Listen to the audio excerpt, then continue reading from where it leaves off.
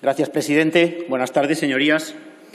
Miren, después de más de 50.000 muertos este fin de semana en un solo día, 200 muertos, nos encontramos aquí con una moción que lo que sorprende es que sea verdaderamente útil, es decir, que verdaderamente tengamos que estar hablando de esto y haya interés en hablar de esto. Y hay interés en hablar de esto como consecuencia de los ataques injustificados que desde Unidas Podemos se han realizado al equilibrio entre las instituciones del Estado, a la jefatura del Estado y en concreto al Poder Judicial. Y todo ello ante el silencio cómplice del Partido Socialista.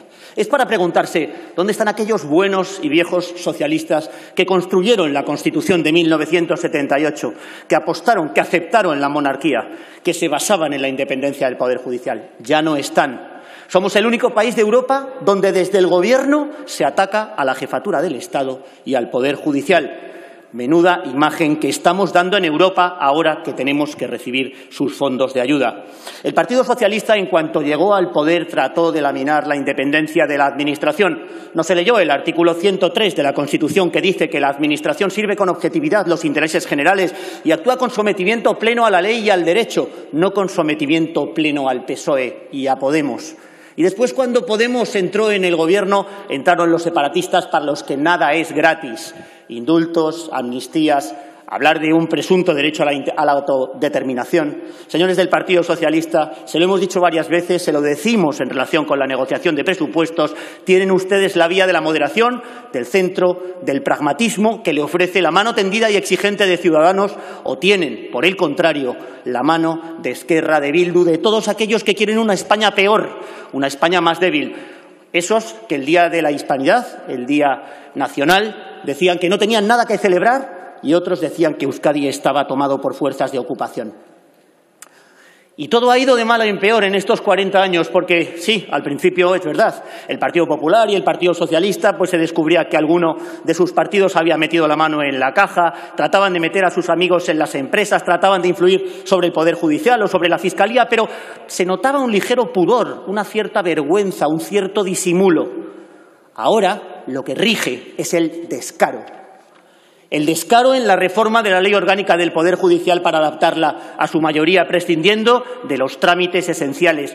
El descaro en los ceses en las fuerzas y cuerpos de seguridad del Estado y en la abogacía del Estado de gente intachable. El descaro en el nombramiento de la fiscal general del Estado, diputada socialista y ministra de Justicia. El descaro en el nombramiento de los presidentes de las empresas públicas como Correos, como Paradores o como Radio Televisión Española, con el único mérito de ser del partido. El descaro de poner al de las encuestas que pagamos con el dinero de todos a un alto cargo de la ejecutiva del Partido Socialista.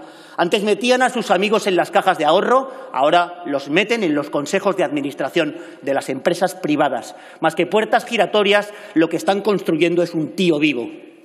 Miren, en su técnica de elevar el dolor del, dolor democrático, el umbral, del dolor democrático, tratan de tapar una barbaridad con otro atropello más grave. Y ya nos encontramos finalmente con que el Gobierno prohíbe al rey que vaya a la entrega de despachos del Poder Judicial en la promoción número 69 a Barcelona aduciendo baratas excusas de convivencia pacífica y de seguridad ciudadana. ¿Saben cómo se consigue la seguridad ciudadana o la convivencia pacífica?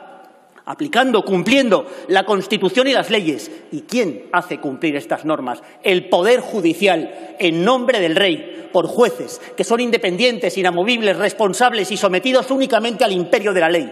¿Cómo se explica entonces que salga el señor Iglesias, que salga el señor Garzón diciendo que no se ha respetado por parte del jefe del Estado su neutralidad política? Y efectivamente, como el señor Mariscal, pienso en lo mismo. Un día juraron, prometieron por su conciencia y honor cumplir fielmente las obligaciones de su cargo con lealtad al rey y guardando y haciendo guardar la Constitución como norma fundamental del Estado. ¿Dónde está esa conciencia? ¿Dónde está ese honor?